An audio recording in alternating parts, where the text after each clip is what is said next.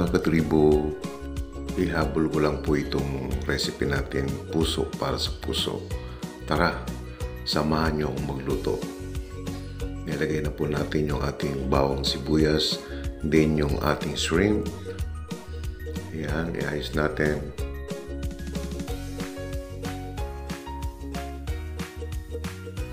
Then, magdagdag tayo ng seasoning. Depende po kung anong klaseng seasoning ang ilalagay nyo. Then after that po, ilalagay natin yung ating pangalawang gata na siyang gagamitin natin sa pagpapalambot ng ating gulay na puso. By the way, bago po lutuin yung puso, kailangan pigaan muna siya. Lagyan ng konting asin, pigain, tanggalin yung kanyang katas dahil medyo mapakla po yun. Ayan po, naglagay tayo ng shrimp cubes. Then, konting-konting asin lang po. Ayan. Haluin natin. Then, maya-mayang konti, isi-set aside natin yung hipon para hindi siya ma-overcook. Pakuluan lang po yung hipon ng at least 2 to 3 minutes, okay na po yun. Kasi ma-overcook siya, titigas. Ang purpose lang po niyan ay para ma-absorb ng sabaw yung kanyang lasa. Ayan, set aside natin.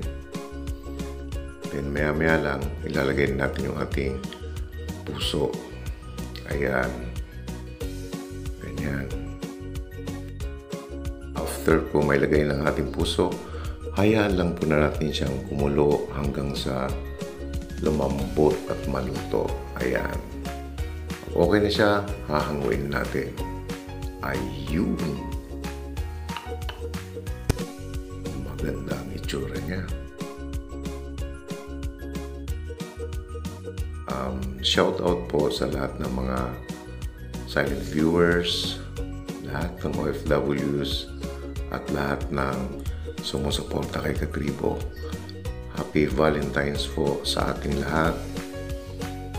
May partner man tayo o wala, magpasalamat tayo at inabot natin ang pag-celebrate ng araw ng mga puso.